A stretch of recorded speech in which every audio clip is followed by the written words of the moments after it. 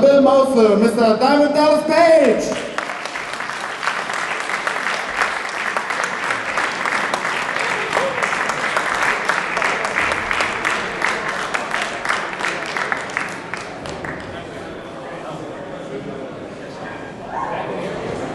What's that?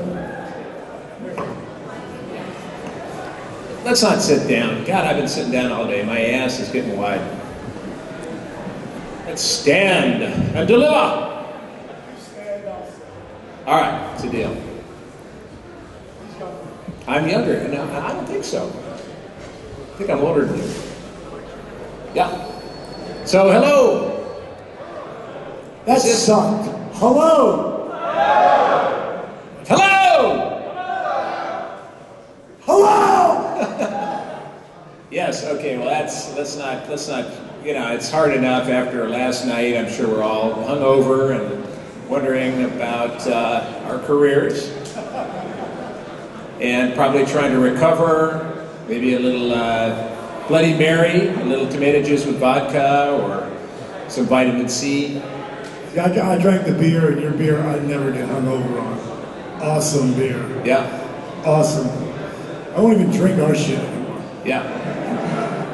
And my favorite beer is uh, Spaten Dark Oktoberfest, but uh, it's probably something you've never heard of. Uh, yes, do you have questions? Um, oh, I'm Bill Moseley. This is Diamond Dallas Page. One of us is the former, three-time former world champion, the uh, World Professional Wrestling. It's not me. You know, I wrestled actually. I, I, I don't know if I told you this, but I wrestled in seventh grade. And Sounds uh, great, huh? Yeah. What, what weight class? I don't know, like 85 pounds or something. And it was funny because I didn't have a jock strap. Um, I wore underpants because uh, I was too embarrassed to ask my mother to go to the sporting goods store and buy me a jock strap. So uh, that was embarrassing, you know. And I got pinned, and he pulled my pants up, and you know, I never wrestled again. Brutal. Yeah, it was horrible. It made me the angry, crazy actor that I am today. Well, you got to use that really well. Yeah, I do. I go right there, man, right to the underpants and the wrestling. Especially when it comes to uh, Devil's Rejects. Yeah, exactly. All right, who's got a question? Yeah. Uh, hi, I have a question for Dallas. Yes. Um, there's the show uh, Hogan Knows Best, of course. Um, and another one that I'm curious about, because yesterday you said you're from the Jer- Jersey Shore. Of course, there's a show called Jersey Shore. I don't know if you have watched it. To be perfectly honest, I've never watched it. I think it's brutal. I mean, I've seen pieces. That how they did that marketing in that show is amazing. I, I, I I don't know if we ever talked about this, but where Snooki got punched in the face, they showed that on every single show from ET to you know what, TMZ. They showed it everywhere. They never actually showed it in the show. So that's what gave it this monster hype. And where I come from on the shore, during the summer, it's just full out crazy. September 1st, like the whole area shuts down. It becomes normal. Sure, it's sort of like Oktoberfest here. Whoa. Spaten dark. So uh, I, I don't ever watch the show, but um, I don't understand how it could be over. I actually like acting, like like real acting. Even though there are some good reality shows out there. You know, I, I personally I like uh, Celebrity Apprentice. I want to be on that show. Yeah. The first thing Rob Zombie said to me was, "You need to be on Celebrity Apprentice." Like you're right. Can you get me on? Next question. Come on, don't be shy. We should I, be a yeah, ice, ice road truckers and most dangerous catch. I like to see men with crabs. and uh, the ice road trucker, of course, is uh, very gritty. It's uh, you know reminds me of the pioneer spirit of those crazy Americans. Come on, some of you in the back must have a question. Look, Somebody. here, look here, here's one over Okay, here. there you go. Hi there. I have a question for Mr. Moseley. Yes. Uh, initially in Halloween 2, you were going to play a part of Uncle Coffins, and Yes. initially you shot some footage of that. Yes. Uh, what was the reason that that, that didn't, go through? Or what was, Uh, what was you know, happening? uh, actually, I had a uh, scheduling conflict. That's the official version, and uh, I was actually uh, uh, the, the schedule changed. I shot the first day of Seymour Coffins, and that was a lot of fun. Uh, I just saw there's pictures on the internet of me with that makeup, and then um, I went off. I had about a two-week break, and during that time, I was up shooting a movie in uh, Vancouver called The Tortured. I don't know if anyone has seen that. Uh, anyway, it's uh, you know I play a child molester or a killer. And I molest him and then kill him, uh, just to uh, get their order right. And I don't kill him and then molest him. I mean, what kind of guy do you think I am? That kind. exactly. Uh, but anyway, so I was I was in Vancouver uh, uh, shooting that, that movie, uh, some other some extra days on it, and uh, and the Weinstein Company uh, that produced Halloween 2 changed the schedule, and so there was a conflict. So Rob ended up hiring another guy to do it, and um, you know that's the way it goes, man. That's showbiz. Yeah. But thanks for bringing up a painful memory. yeah. Um, a question for Bill. Um, is it true that uh, Sybil Danning taught you the German accent for your uh, Werewolf Women of the SS uh, fake trailer? No, it is not.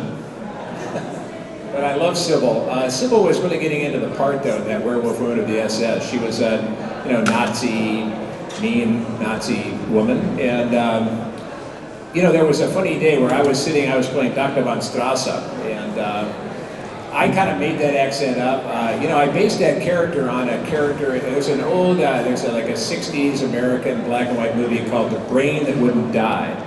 It's a woman whose uh, head is in a tray and she's got like a bathing cap on. And she argues with her scientist fiance and, you know, and it's a crazy movie. But anyway, he has a lab assistant called Kurt. And Kurt's, um, ends up, uh, he's kind of like the Igor character in the movie. And uh, he has had some uh, unsuccessful arm transplants. So his arm is all like shriveled up. Uh, but usually when, when you see a shriveled arm in the movies, it's kind of like, it's more like with your palm up. But Kurt played it, he had like, he just kind of did this, and it just looked fucked up. So um, when it came time to play Dr. Strasser, uh, Von Strasser, excuse me, um, I really didn't have the character, and uh, Rob uh, brought me in to uh, get some um, wardrobe. So I came in, and I kind of had the idea of, of Kurt uh, from, you know, like an homage to Brain That Wouldn't Die. So I kind of had this idea, and then, uh, and then they, you know, we sat around and just uh, added, you know, they, they said, what do you think he would wear? I said, well, let's start with a white lab coat, and then I want black rubber gloves, and then I went kind of one of those old, like the dentist used to wear kind of a, it was a headband with a big uh, mirror on it. So we kind of got that, and the more that, that happened, I started to get into the accent. You know, and of course you guys know it's horrible accent. Uh, in fact, you know, it was funny when Rob offered me the part, he said, uh, can you do a, a, German accent? I said, well, you know, and he said, uh, can you do a bad German accent? And I said, yeah, yeah. So anyway, that's how I got part. Uh, with a great, by the way, a great, uh, a great uh, countryman, one of my favorite actors, a really funny guy, Udo Kier. Oh my God, I love that guy. Uh, one question to Dallas. Um, I guess in one, uh, 2001 or 2002, you had a feud against The Undertaker, Mark Calaway.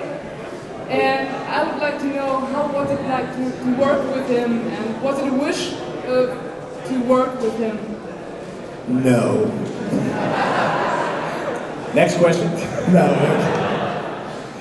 Actually, uh, that is the one thing I wish I never did, but it did. So uh, yeah, I live with that because in wrestling, I don't want to like ruin anybody's Christmas, but it's like sort of set up.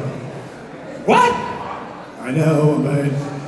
As you can see, I sold like a son of a bitch. I hit him with my best punches. He shook him off, grabbed me, threw me in the corner, and I sold again.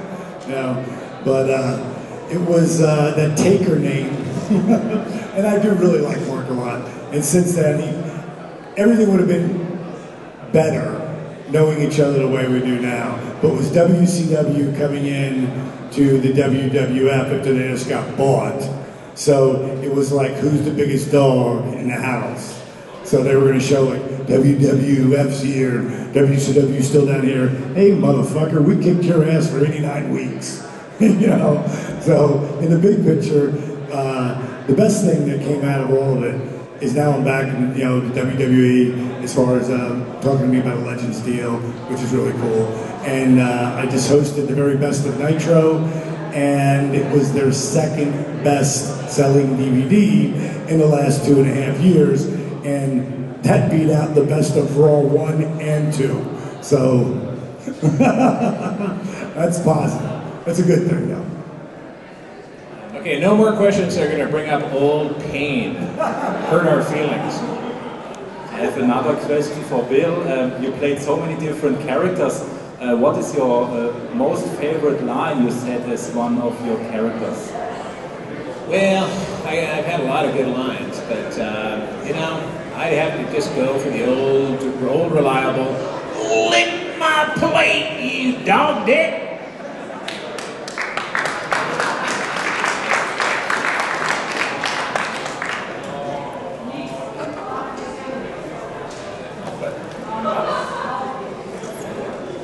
Um, another, another one. Hey, for- can you see what trying to do a talk over here? Yo.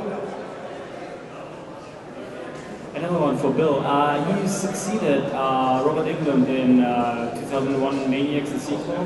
Here's another one of those questions. Yeah, but, but it's a new paying, right? It's not an old one. All right. Yes, I'm very happy. Yes. You want me to talk about it? Uh, yes, I succeeded Robert Englund. Um, you know, I have a picture on my iPhone of, uh, of uh, me and Robert Englund with our arms around each other, so we're, we're good. Um, and, uh, you know, my dreams are good. He's not in them, which is good. Um, uh, but I was told that, uh, yes, yes, uh, would you, Tim Sullivan, the director, uh, asked if I would uh, be interested in playing that part. I was actually uh, going to play a different character in that same movie. I was going to play the character that then Ogre played called Doc Tickles. And I had talked to Tim about it, and he was, he wanted me to like, you know, saw up some girls and do, you know, drill them and do horrible things. And I said, well, with a name like that, what he should do is pull, you know, open his bag and pull out like a rusty saw and a big hammer, and the girl's tied down, she's frightened. And then finally I pull out a big feather and start tickling her, and she's laughing and laughing. She finally laughs so hard, explodes. But uh, anyway, so that, that role went to uh, Ogre when Robert Englund uh, didn't come back as Mayor Buckman. And what I did to prepare for Mayor Buckman was not so much look at Robert Englund's uh, role as um, I went on YouTube and there's an old cartoon character, a big old rooster called Foghorn Leghorn. And so I looked at a lot of cartoons. He goes, boy, I'll tell you, boy! You know, and he's like, he's a big blustery rooster with a southern accent. So that's, that's who I used to play Buckman. Hi Bill, I'm at the back. Uh, question for yourself regarding the remake of the classic movie Night of the Living Dead, uh, Johnny. What was your memories of working with Tom Savini and your part in the movie? Um, 'cause it's a I. I, I loved working with Tom Savini. It was funny because when Tom uh, Tom Savini did the makeup, of course, uh, for those of you who don't know, you're in the wrong convention. Uh, but he uh, he is the king of splatter and uh, did all the great makeups with uh, George Romero and you know amazing stuff. And uh, Tom was given an opportunity to direct by George uh, for the remake of Night of the Living Dead. And uh, and I had worked with Tom on uh, Texas Chainsaw Massacre 2 and uh, and we became pals down in Texas. And when Tom got the job to do uh, uh, to direct Night of the Living Dead, he called me.